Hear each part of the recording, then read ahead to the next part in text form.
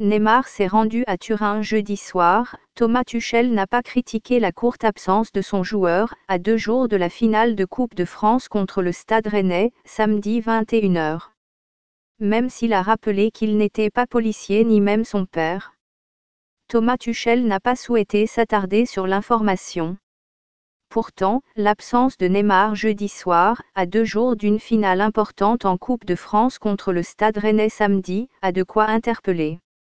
Le Brésilien, qui se remet tout juste d'une longue absence de trois mois, a repris la compétition dimanche contre Monaco, 3 à 1, et prétend à une place de titulaire contre Rennes.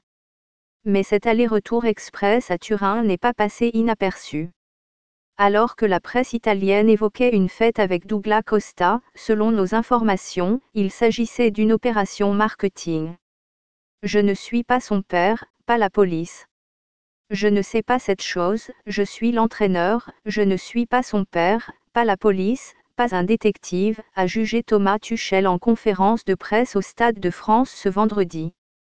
Il était à l'entraînement hier, jeudi, il est avec nous aujourd'hui, et c'est comme ça, a-t-il conclu, légèrement fataliste. Cette situation fait écho à la situation connue par Douglas Costa en février, l'ailier turinois s'était rendu à l'anniversaire de son partenaire en sélection à Paris. Un voyage qui avait coûté cher à l'ancien Bavarois.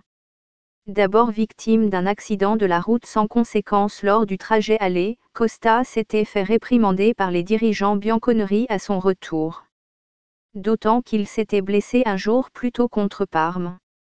Pas sûr que Tuchel aligne Neymar d'entrée samedi soir l'entraîneur a indiqué qu'il fallait se préparer à jouer 120 minutes et qu'il allait donc titulariser un maximum de joueurs capables de tenir physiquement au moins 90 minutes, ce qui n'est sans doute pas encore le cas de Neymar.